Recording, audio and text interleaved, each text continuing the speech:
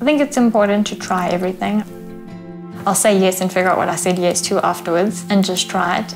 I've always wanted to go bungee jumping and I want to travel, but I really want to make this country more accessible. I was diagnosed with SMA, the degenerative spinal disease, at the age of one. I am paralyzed mostly from the waist down, but I do have feeling of my whole body.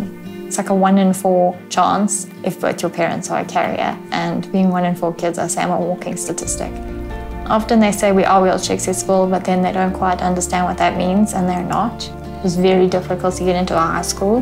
We went to a shopping centre and they were doing renovations, and they took away the ramp and the wheelchair parking. And they're like, oh, it's just temporary. But I went there that night and I couldn't get in. It's easy for me because I don't know any different. I've had a chair since I was five, and before then it was a pushchair. I'm very lucky to not know any different because I think it makes it easier.